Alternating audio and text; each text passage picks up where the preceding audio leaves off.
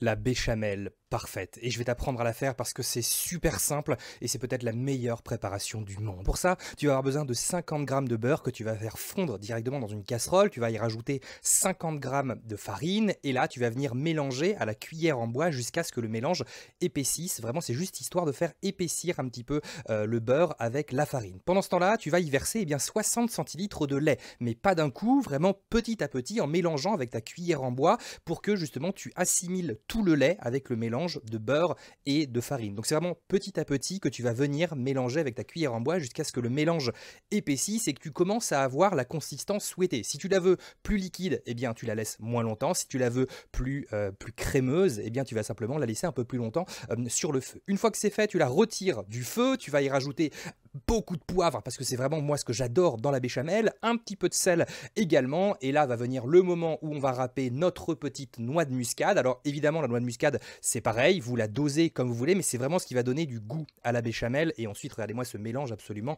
magnifique. Et là c'est mon petit plus à moi notamment pour les croque-monsieur, je mets dans ma béchamel du comté directement de chez le fromager. Et là on va en râper un bon gros morceau, ensuite tu mélanges et si t'en as pas assez, t'en remets, hein. le but c'est vraiment de goûter ta béchamel au et à mesure pour qu'elle soit juste parfaite à la fin et qu'elle ait cette magnifique texture crémeuse, onctueuse et absolument délicieuse. Et alors après, vous pouvez la manger même à la cuillère comme ça, ou alors l'utiliser notamment dans des croque-monsieur, qui est une recette qui débarque bientôt sur la chaîne.